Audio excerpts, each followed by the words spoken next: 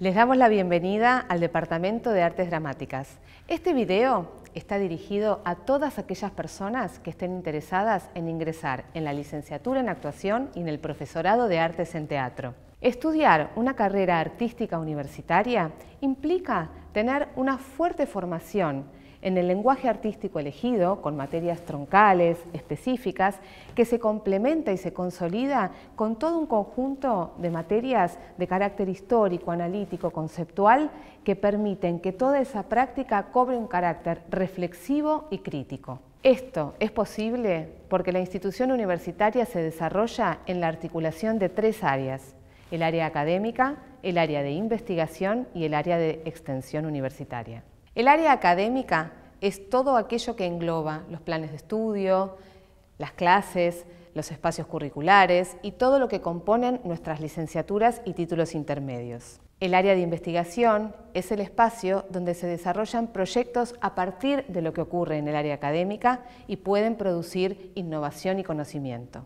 En el área de extensión, todo eso que se produce en el área de investigación y en el área académica se despliega en el ámbito del territorio.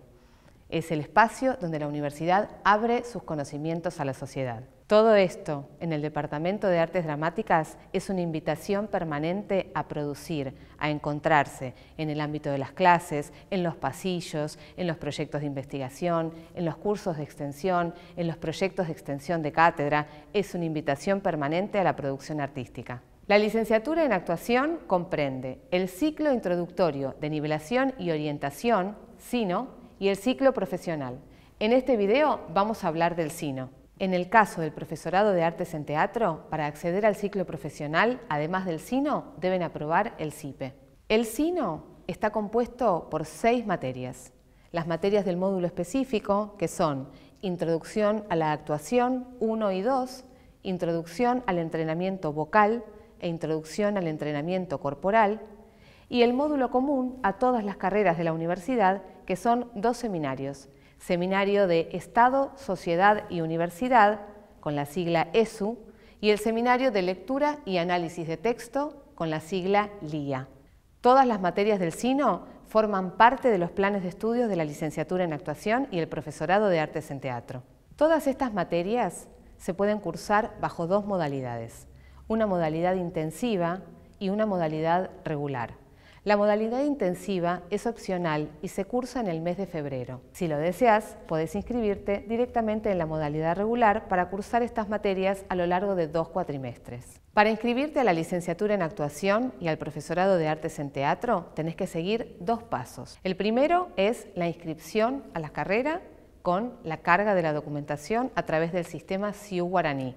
El link va a estar disponible en las fechas correspondientes a través de la web. El segundo paso es la inscripción a las materias del SINO. Y en el caso del profesorado de artes en teatro, la inscripción a las materias del SINO y al CIPE.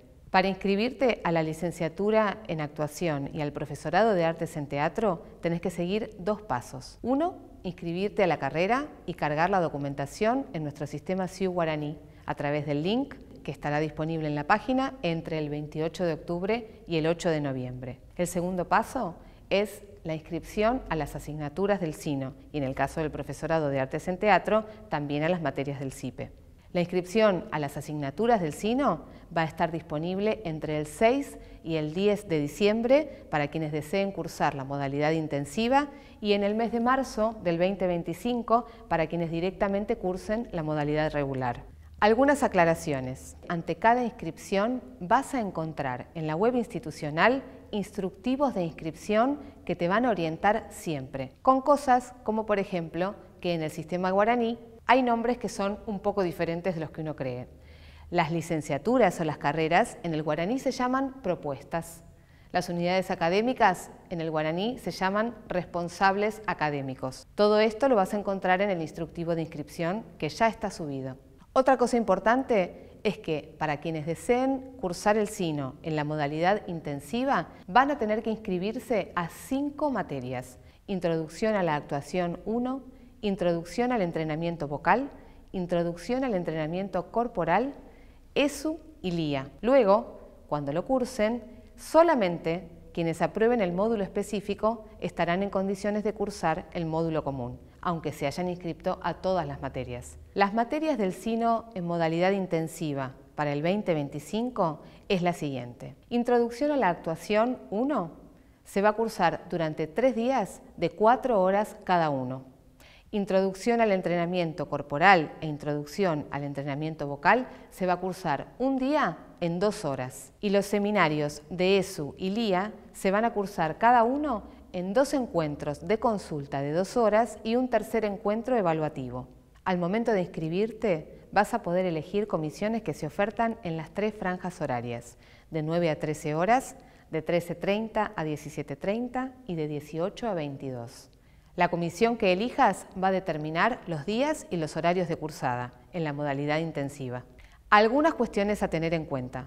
Para las materias del módulo específico, no te olvides de traer ropa cómoda, porque vamos a trabajar con el cuerpo. En relación a las materias LIA y ESU, los textos a trabajar van a estar subidos en la web a partir del mes de diciembre. Te recomendamos leerlos con tiempo y dedicación para poder aprovechar las clases de consulta previas a la última clase del examen. Por último, tenés que tener en cuenta que vas a tener que inscribirte a materias ante cada nueva etapa.